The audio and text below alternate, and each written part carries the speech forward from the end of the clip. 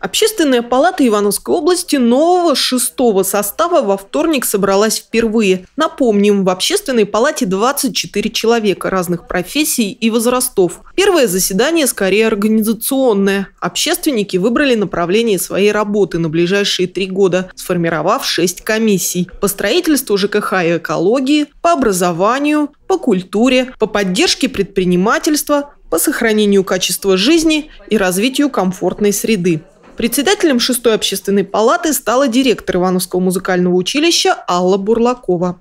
Здесь передо мной сейчас те лица и люди, которые являются общественниками, люди, те, которые вкладывают свою душу на безвозмездном начале.